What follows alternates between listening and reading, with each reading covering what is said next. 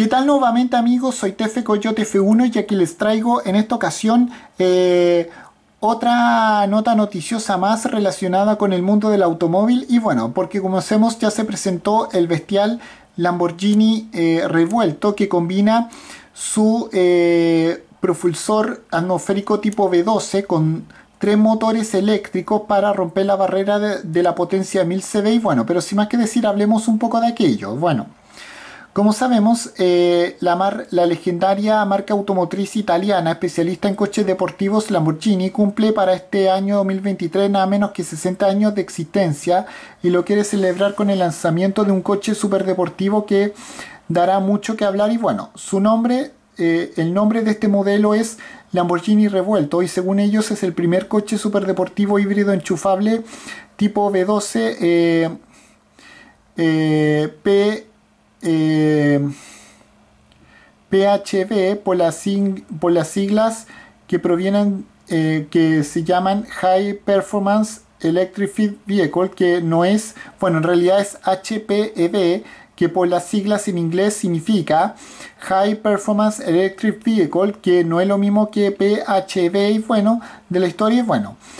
eh, tendrá un motor tipo V12 que estará conectado con tres unidades eléctricas y que tendrá como potencia total 1015 CV, lo que permite tener como aceleración de 0 a 100 km por hora 2,5 segundos y, y, tiene como aceleración de 0 a 200 menos de 7 segundos, más allá de alcanzar una velocidad superior que tiene 350 km por hora y bueno. Eh, cifras que son prometedoras, una prometedora carta presentación, pero existe mucho más y hay que contarlo aquí. Bueno, parece que tarde o temprano cada uno de los fabricantes de, supercoches eh, se pasarán eh, al sistema híbrido como un paso anterior a la electrificación total de sus vehículos y bueno, ya lo hizo la, la,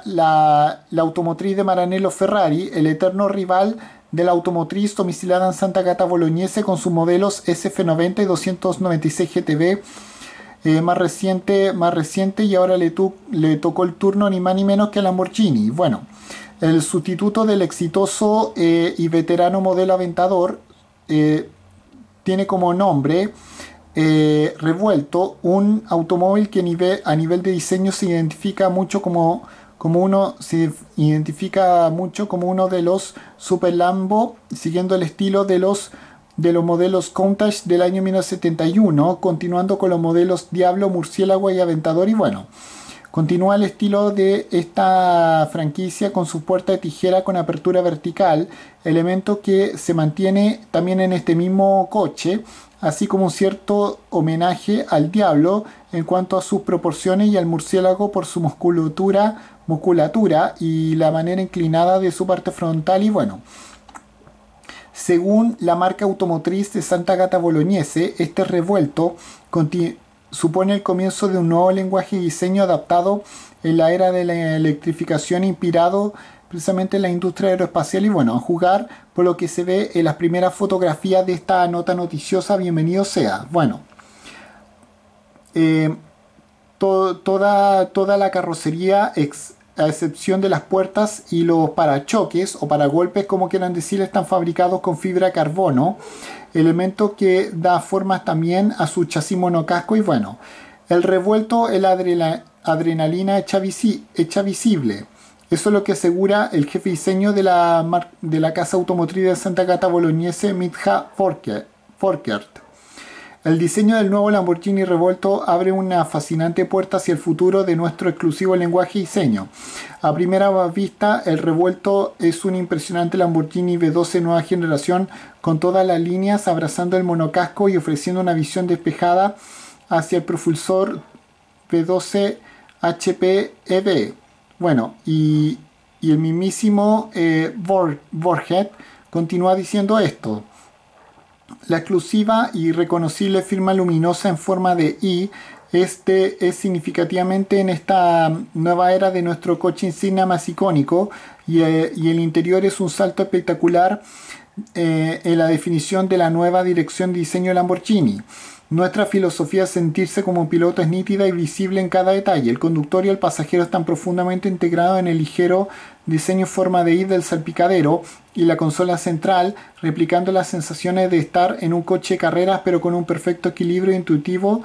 eh, intuitivo entre los controles digitales y físicos. Bueno, la línea afilada comienza con la parte frontal, eh, donde se encuentra un capó que transmite sensación de potencia y velocidad y bueno, sus grupos ópticos frontales y posteriores marcan una I con los LED que la conforman y bueno, eh, su toma de aire laterales poseen formas bastante angulosas, eh, siguiendo el estilo de flecha que se ve en la parte frontal, se crean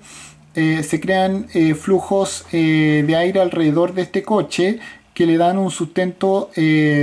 aerodinámico. Las aristas recuerdan al huracán técnica que se tuvo la que aquí en Motor Pasión se tuvo la, la, ocasión de probar y bueno.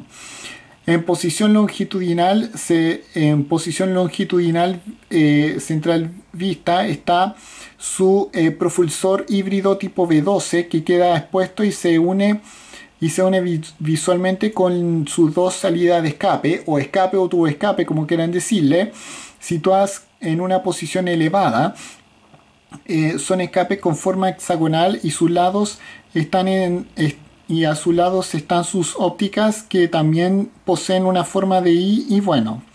En la sección interior no cabe duda que se está ante un modelo Lamborghini, una espina central de fibra carbono en la que alberga no solamente su salida de aire y su pantalla táctil que tiene 4,8 pulgadas, por primera vez en un modelo Lamborghini se poseen también una pantalla específica para el copiloto que, que tiene como que tiene 9,1 pulgadas de información específica. El conductor tiene detrás del volante un tablero de, un tablero de mandos digital que tiene 12,3 pulgadas y bueno. Por su lado, el volante es un auténtico espectáculo y se inspira en el modelo Essenza SCV12. Aglutina en, en sus brazos laterales cuatro selectores que le sirven para elegir los modos de conducción, variar la elevación del automóvil y la inclinación del alerón posterior, entre otras cosas. Bueno, los clientes, los clientes altos están de enhorabuena porque el diseño de su techo tiene 26 eh, milímetros más de espacio para la cabeza que el modelo Aventador Ultimate. Por su lado, el chasis monocasco tiene 84 milímetros más de espacio para, su, para las piernas de los ocupantes dejando espacio adicional eh, detrás de los asientos para acomodar el equipaje del tamaño de una bolsa de golf según la mismísima firma automotriz de Santa Gata Bolognese y bueno aparte de eso el capó eh, frontal en debajo del capó frontal hay un maletero con capacidad para dos maletas de mano. Eh, más allá de todo eso existen huecos porta objetos así como porta bebidas y alguna y algunas otras cosas poco habituales en los coches superdeportivos donde generalmente no se posee nada, no se posee donde dejar nada y bueno.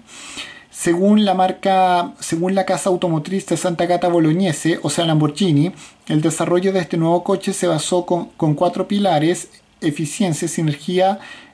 entre los componentes, integración entre los componentes y diseño. Bueno, eh,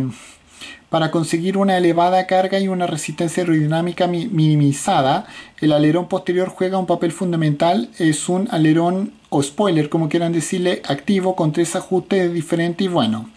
Las posiciones se van cambiando en base al modo y la dinámica de conducción y puede ser modificada manualmente por el mismísimo conductor desde el selector específico situado dentro del volante, la posición closed, eh, garantiza una resistencia mínima perfecta para aquellos momentos lo que circula en modo eléctrico o modo paseo y bueno. Otra posición es la de low track position, en la que la resistencia aerodinámica mínima alta velocidad, eh, mínima alta velocidad permite alcanzar la velocidad máxima manteniendo su estabilidad y bueno. Eh, la tercera posición es High Downforce Position que maximiza la carga aerodinámica optimizando la agilidad y manejo de este modelo y bueno, perdón. El revuelto posee un propulsor atmosférico tipo V12 de 6,5 litros montado en posición central trasera que se complementa con tres motores eléctricos y bueno, dos están montados en el eje frontal y uno va integrado en la nueva caja de transmisión de doble embrague con ocho marchas montada transversalmente y situada por primera vez detrás de su motor de combustión. Y bueno, al tener tracción integral eléctrica y no existir conexión física entre el motor y el eje frontal, el, eh, el tradicional túnel de transmisión es el lugar donde se sitúa la batería, su, su batería de iones de litio que alimenta obviamente a las unidades eléctricas. Y bueno, estos aumentan la entrega de potencia a bajas revoluciones, pero también permiten a este nuevo modelo circular en modo completamente eléctrico, reduciendo las emisiones totales de CO2 en un 30% en comparación con el modelo Aventador eh, Ultimate. Y bueno, el nuevo motor eh, a gasolina L545 eh, posee como cilindrada 6,5 litros y es el motor de 12 cilindros más ligero y potente jamás fabricado por la marca automotriz Santa Cata Bolognese. Pesa solamente, tiene como peso solamente 218 kilogramos, lo cual supone 17 kilogramos menos que el de su predecesor, o sea, el Aventador. Y bueno, por su parte, los motores eléctricos también son pequeños y ligeros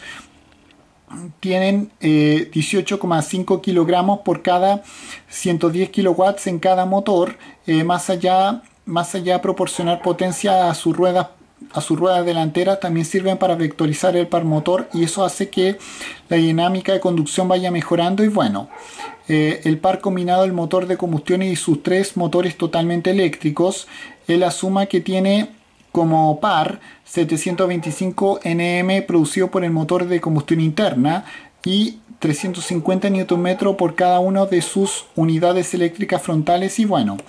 eh, la capacidad de batería eh, compacta eh, la capacidad de la batería que es bastante compacta tiene tiene 3,8 kilovatios hora. Eso hace que cuando la carga llegue a cero pueda recargarse utilizando corriente alterna doméstica con hasta